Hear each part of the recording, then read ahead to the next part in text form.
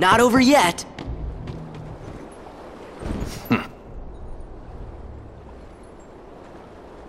Throw him overboard. Aye aye. Holly! Excuse me? Parley? It's a bit of the pirate's code.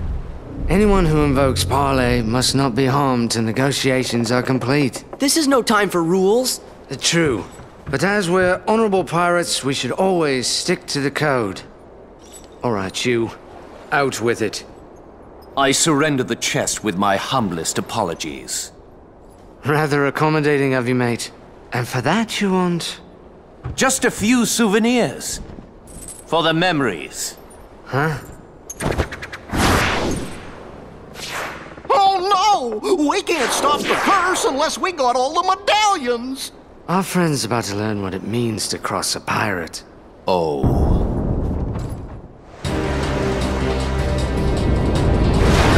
Sora, Donald, Goofy, it's yours.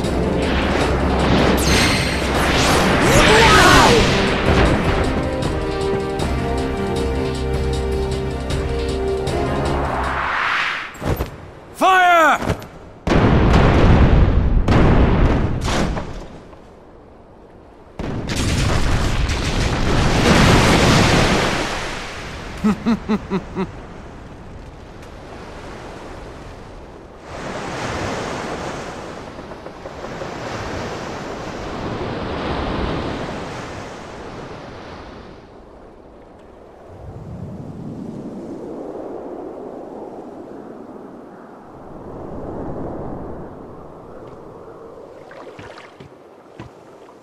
You stole a medallion again?